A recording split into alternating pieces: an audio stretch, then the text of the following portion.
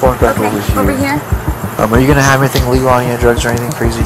Um, no, I mean I have um like my weed pipe